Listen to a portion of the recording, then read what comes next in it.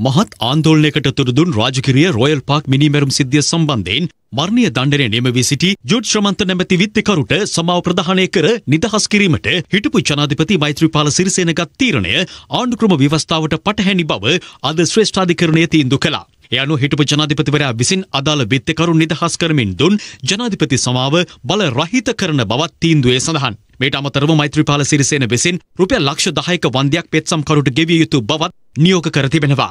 එමෙන්ම අගතියට පත් තරුණියගේ මවට සහ පියාට රුපියල් මිලියනය බැගින් වන්දිකිවන ලෙසටත් හිටපු ජනාධිපති මෛත්‍රීපාල සිරිසේනට තවත් නියෝගයක් නිකුත් කළා. මෙම ක්‍රම තුළින් හිටපු ජනාධිපති මෛත්‍රීපාල සිරිසේන ආණ්ඩුක්‍රම ව්‍යවස්ථාව චේතනාන්විතව උල්ලංඝනය කර ඇතැයි තීන්දු කළ ශ්‍රේෂ්ඨාධිකරණය මේ වන විට විදෙස්ගතව සිටින අදාළ විත්තිකරු විදේශීය හා ජාත්‍යන්තර සම්මුතින් උපයෝගී කරගෙන මෙරටට ගෙන්වීමට අවශ්‍ය නීතිමය පියවර ගන්නා ලෙසත් නීතිපතිවරයා නියම කර තිබෙනවා.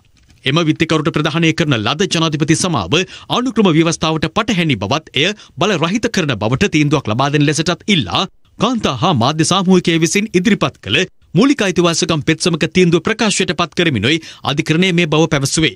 එස්තුරේ රාජා යසන්ත කෝන්දාගොඩ සහ ජනක්ද සිල්වා යන ත්‍රිපුද්ගල ශ්‍රේෂ්ඨාධිකරණ විනිසුරු මඩුල්ල විසින් මෙම නියෝගය ප්‍රකාශයට පත් කර තිබෙනවා. රටේ ලෝකෙ සිදුවන උණුසුම් පුව දැනගන්න සියත නිවස් YouTube චැනල් එක අදම සබස්ක්‍රයිබ් කරන්න.